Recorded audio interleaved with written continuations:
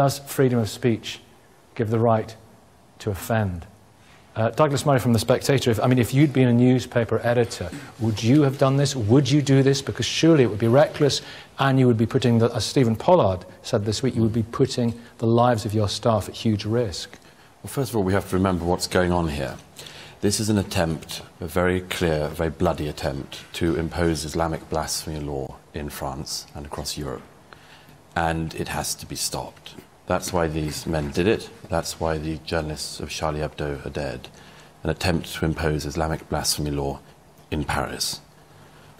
The problem is that unless uh, you have an I am Spartacus, as you say, tactic on it, um, it's not worth any one individual or any one, well, let's put it this way, no one publication uh, doing it because, you know, after the Danish cartoons affair, Charlie Hebdo was the only paper in the world, really, that continue to say it is our right as secular French citizens to draw, lampoon, laugh at, write about whatever we want. We're free people in a free society.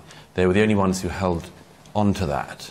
And uh, obviously on Wednesday morning we know what happened to the results. So any one publication would, I think, undoubtedly put its staff at uh, considerable risk. That's why that's why I've suggested this week, um, repeated what Ayaan Hirsi Ali said after the Danish cartoons affair. We have to spread the risk around. The free press in the free world has to spread the risk around. Our freedoms hang on this. It cannot be left to a single individual or a single publication, a single satirical magazine, to hold the line for all of our freedoms.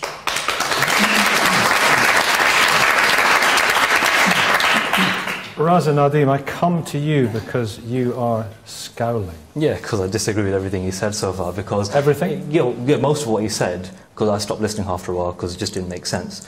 When he talks about um, we should, um, you know, the news, um, Charlie Hebdo published whatever they wanted, that's rubbish. They were overtly racist towards Muslims. They were always lampooning Arabs and being overtly racist in most of their publications, and the it smacks of hypocrisy because they were prepared, in the name of freedom of speech, to sack um, a journalist who wrote a column that they considered to be anti-Semitic. So how come there's a line there, but when it comes to Muslims, it doesn't matter take it on the chin. Why I, are we treated differently from just, others? Could I just answer that? He was charged with a hate crime it, as well. Sorry, it's really rich. There are 12 people dead Oh, please, no, no, no, don't, don't try to use their deaths. No. Just don't. Please, don't not, try, because I just give you an example me, where they did. No, no, let me finish my point. No. They, the clear example point, where they don't care for freedom of speech. Okay, on that example, Douglas, it more. Douglas will address that example. If he doesn't, we'll make a dozen, and then I'll come back to you and ask you another question. A dozen people were killed, and they're now being smeared as racists, like this gentleman here. And I think that's intolerable. No, I did not. He clearly knows nothing about Charlie Hebdo. I just gave nothing an example. about France, nothing about French traditions of free speech. Charlie Hebdo is a left wing, anti racist publication. It has lampooned and does lampoon everybody. In recent years, it has taken particular delight in lampooning. The most, most of the attacks on Charlie Hebdo, the, the non physical attacks, have been from the Catholic Church, repeated attempts to criminalize Charlie Hebdo for what it says about the Pope. Marine Le Pen, the far right wing leader, is one of the main targets of their satire. You don't understand anything. I just okay, gave you an example. Let me ask you, let me ask you a question. Let me ask you a question, and then uh, thereafter we're going, to, we're going, to, spread uh, the love, okay? uh, as it were. Um, Raza, I mean, Douglas touches on this. France has a long, some would say fantastic, uh, certainly very proud tradition of vulgar and rude and anti religious uh, cartoons. Isn't it a, a, cultural imposition for a minority to seek to change that? Muslims Answer being, that question. In France, in 2006, a rapper was prosecuted for saying, I want to urinate on Napoleon. So where's this, um, you know, oh, in believing in a oh, person, you know, we can offend whoever we want? It's rubbish. Muslims are being asked to believe in freedom of speech more than others are because in France they're prepared to prosecute no. an individual on that basis. They've, they've banned comedians that they consider to be anti-Semitic. Now, mm. I'm saying it's right. If someone's being anti-Semitic, mm. stop them. But why, when we're saying someone is being Islamophobic and anti-Muslim, we're saying, well, take on the chin. Is there, why are we treated differently? Is there, if it's unacceptable as many people feel it is. Many people find it deeply offensive to see cartoons of the, of the Muslim Prophet Muhammad. Is there any way in which it is acceptable to poke fun at Islam? If you want to poke fun, no one really cares. But the thing is, this isn't about poking We're fun. not talking about cartoons. Is there any well, way? no, hang on. No, this wasn't about poking fun. This case is being painted as a freedom of speech issue, and it's clearly linked to the war on terror. Oh, if you look at the, the cartoon, the, the killers, For what they say, goodness we're part of Al Qaeda. It wasn't a cartoon that riled them up. It was it was foreign policy Why- and the war on sorry. terror. Why why do you? Let me take it to Maajid Nawaz. Maajid, of course, you you you, you tweeted war on terror. you tweeted uh, one of the Jesus and, and Mo cartoons. Most people would say it was relatively innocuous. It was a divine figure uh, saying hello to a prophet and a prophet saying hello back again. Yeah. Basically, one of the other cartoons was was slightly. Uh, Slightly more, Slightly less innocuous. Yeah, less innocuous. That's the Yeah. that's the word. Uh, that's the phrase I'm looking for. You you had death threats. Um, answer Raza Nadim's point. Well, first of all, I just want to make it clear that not all Muslims define uh, offence in the same way. Not all Muslims take offence at the same things in the same way. Uh, this, uh, Muslims are not homogenous, and I don't claim to speak on behalf of Muslims, but I think likewise, nor should anybody else. So when somebody comes on this show and says, well, Muslims find that offensive, I think what they really mean is, I find that offensive because I'm very insecure in my own belief about God. The, the second point I'd like to make is that there is no right. That, that, yes, there is a right to be offended. There certainly is no right to tell others or insist that others do not offend you. They are two very different things. Everyone is free to take offense at anything. I mean, people could take offense at my dress sense. But what they cannot do is insist that I dress in a way that doesn't offend them. They are two very different things, and that's important when discussing cartoons. The second thing to distinguish is that every idea is open to scrutiny. No idea, whether it's a philosophy or a religion, is immune or can be or should be immune from scrutiny. That's different from hate speech. But would there not have been a very different has been that attitude? I'll, let me, I'll come, Yeah. come And- down. Would there not mm. have been a very different attitude to, for example, as there was, anti-Semitic cartoons? Well, What's the they difference? someone. That's why I'm making the, that's why I'm Right. drawing this distinction because anti first of all Jews are a race and anti-Semitism is stigmatizing a people. I've often said no idea is above scrutiny and no people are beneath dignity. And if we were if these were racist cartoons then there's a legitimate conversation to be had about racism. The reason that I said I wasn't offended at the cartoon that you've just uh, highlighted it was a stick figure of a character called Jesus saying hello to a stick figure of a character called Mo. And the character called, called Mo said, How you doing? The reason I picked that, that particular cartoon to say I wasn't offended at that is because it left no other option for people that take the view that this gentleman's taken except to say that's blasphemy. And what I suspect is that the issue at hand is there's a separate debate about uh, racial hate speech. The issue at hand is that many vocal, active, kind of communal, You've uh, freedom of speech. self-identifying, uh, you're saying. politicized Muslims will take an issue with blasphemy per se, and what they don't want is any depiction of the Prophet in qualified any way. Dan or Hodges, in a minute, I, I must come back That's to you. because- problematic, and that's You've problematic. qualified freedom of Was that. Jesus and Mo cartoon that he tweeted? Was that blasphemy? I don't think it was blasphemy. But the thing is, it's, again, like you said, people may have different views. But the point is, he's qualified freedom of speech, saying it's all good apart from racism. That's bad. Well, hang on, then you don't believe in absolute freedom of speech, do you? You're saying that it's all relative at the end of the Well, day. you know, right? They, Reverend Rose, they, they yeah. banned Reverend someone. They actually fired Hudson someone and charged them with a hate crime. It's ridiculous. bring in Rose now, We live in a- chaplain to the Speaker of the House of Commons. We live in a civilized society, and I think it is important that we safeguard freedom of speech. Of course, freedom of speech from time to time is going to mean that somebody may f- say something that I'm going to find offensive, but it does not mean that I go out and shoot them. It does not mean that. And so, and, and I also think that we do need to be responsible in what in some of the things that we say. However, as I say to my children when they were growing up, you cannot legislate for someone else's behavior or what they say. You can only decide how you are going to respond in that situation. Which is more important, the humour, getting the laughs, or thinking about the people who are deeply offended by this?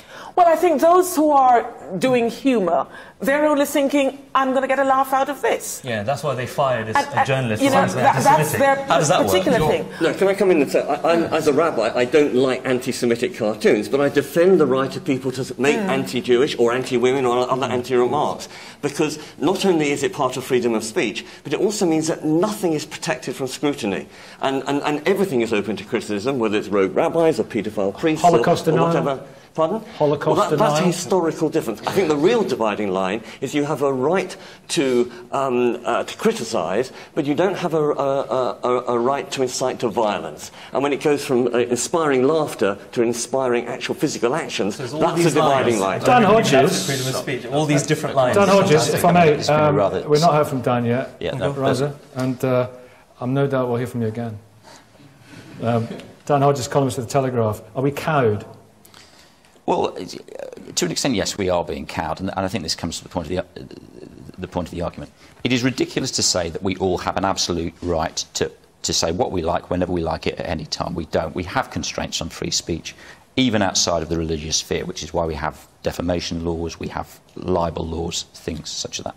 There are various factors which mitigate how we exercise our free speech. There's no doubt about that. The debate we are having here today is about should one of those factors be fear? Should one of those factors, it, it, it, quite clearly is, should, should one of the factors that influences our free speech be the fear that if we, if we exercise our free speech, someone is going to come in and murder us? Now, you made a point, and, and I, I, think there is some legitimacy in the point. If you look at the, the, the Charlie Hebdo cartoons in, in, in, in, in the whole, there are a number of their cartoons that I personally would be uncomfortable, uh, uh, uncomfortable with.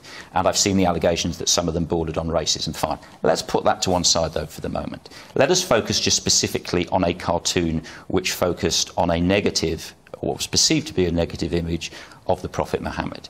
Do you think it is legitimate for a magazine like Charlie Hebdo or any other magazine to produce an image of that kind? Is it legitimate for them to do so? If you're asking me to believe in freedom of speech more than other people are, then no, because they were prepared to ban someone when they wrote something anti-Semitic. Yes, but no, no, no, I'm saying, don't ask me to believe in. No, you, no, you're saying the right to offend. No, you should believe in that no, more than everyone no, else, because Charlie Hebdo smacks of hypocrisy in their own actions. I, I, and I'm removing the hypocrisy. I was being very specific. You have rightly said that, they, that, that, that, that there was censorship of people for racism. I accept that people should not be and allowed to express towards Arabs as well. Exactly, exactly fine. And, and I'm, I'm, accepting that. But I'm saying on this specific point, on a cartoon that was not generically racist, a cartoon that just showed a specific image of the Prophet Muhammad, do they have a right to publish that? Anyone has a right to publish anything if, though, you're going to treat everyone equally. Muslims aren't being treated equally. When you sh- Charlie Hebdo, it's very clear. I, you can't separate the case for me, Dan. It's very clear. Martin us. Yeah, so, so, so, that so you're saying anyone has the right to say, if they did publish a cartoon of the Prophet Muhammad that didn't have any we'll racial... do the same about show black people in a bad light, show Jewish people no, in a bad light, but uh, you won't though, can, right? No, because freedom of speech has limits. Can I ask the question I was going to ask? If they did depict an image of the Prophet Muhammad that didn't have any racial stereotyping whatsoever, uh, and so therefore it takes away that point, are you then supportive of, the, of, of that? Uh, would you say, yes, that's fine, that's a, that's a good and legitimate question to ask. The founder of a religion that's influenced billions of people across the world, it's legitimate to scrutinize any religion, including the Prophet Muhammad and Islam. It's legitimate. Charlie Hebdo was not in the business of trying to get dialogue going. Yeah. He was looking to offend. Okay, uh, yeah, Douglas in a second. Douglas in a second. Let's hear the audience. Lady back there with the blue top. Hello, good morning. Good morning. Quick points, please. The point is, I'm just wondering, I, I get this idea, we have a, a, Muslim and we have race. Muslim is a, is a faith system, and therefore it's not a race. So we cannot use the word racism when we're talking about a religion, because it is a choice. Yeah. Your race is not a choice. And anything that you can convert to is not, is, is not a race. So therefore, we're, we're looking at two different issues, and we're conflating two different ideas together to try and make a point that doesn't make sense right there at the back. Hello. I think the issue involved here is hypocrisy. Why? We, we tend to give the impression that everything we do, we can do it freely. If you are cooking, for example, there is a limited amount of salt you have to eat. You are driving on the road, there is a speed limit. Anything you have to do, there must be a limit. So freedom of speech cannot be without a limit. The issue here is. Would you find, you, would you find sir, these, these cartoons, a cartoon of the Prophet Muhammad, offensive? I find them offensive, but I will not react the same way these people react. No, no, of course. however, of course. However, let, me ask you, let me ask you another uh, question. Because uh, the Guardian cartoonist, Martin, Mike, Martin Rowson, he was saying on Channel 4 News that he did want to do a cartoon of uh, the Prophet Muhammad with a t shirt on Prophet Muhammad t shirt saying, Not in my name. But he didn't feel he was able to do that. Would, if he had done that, would you have found that offensive? I have said it, and I'm repeating it here as a Muslim, that you can offend. You have the choice to retaliate or to forgive. Well, that is that, what Islam Would you have preaches. found that offensive? I, even if I find it offensive, I'm not going to react by killing I know that. Right, that is the point. I understand. However, let, let, let, me bring it back if I can. Let me bring it. Of course you wouldn't. Uh, but, but let me bring it back. There's, people are worried about blasphemy here, uh, sort of stealth through the back door, yeah. through the front door, whatever. Very much, very much through the front door. Can I just quickly? Uh, there are some people speaking about who, who have clearly sort of mugged up on Charlie Hebdo in the last couple of days and drawn from this tragedy whatever they like. But you really should know more if you're going to speak about this. And I have shown and you're more going about to know, than you about you, this you are topic. going to need to know more yeah, and before I've not, you I've shown before I've you more smear about it than you. before Clearly. you smear dead I'm not smearing. I'm not, cartoonists. I'm not but let me smearing all just one thing one thing you may not be aware of. One thing you may not be aware of, but it's worth throwing into the discussion is that there are laws on the continent, particularly to do with anti Semitism and particularly to do with the Holocaust. And let me just explain, because you may again not know this, but the historical reasons for that. France has historical reasons to be incredibly sensitive of anti Semitism in particular, because within people's living memory, tens of thousands of Jews were put So we on shouldn't be sensitive and of slaughtered. Islamophobia? No, let me explain. Well, we shouldn't be sensitive There is, of it. Let me. There's a secret website Let called me, Google. Let If you me, there, you let can me, other let me finish the point I'm making. hypocritical. There Let me are very explain. specific Let him explain. There are very specific explain. reasons. There are very not doing it. specific reasons in France and Germany why some of those laws exist. But let me get back to the main point which you've been trying to divert us from.